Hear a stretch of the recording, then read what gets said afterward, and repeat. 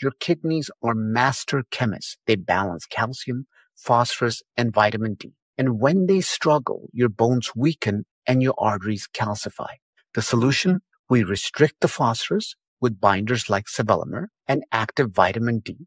And this combination, it's precise, it's effective, and it works. But here's what most miss. Cardiovascular disease is a real threat. CKD patients have two to five times higher heart disease risk. Why? There's inflammation, anemia, and calcification, and they combine to create the perfect storm. So what's the game changer?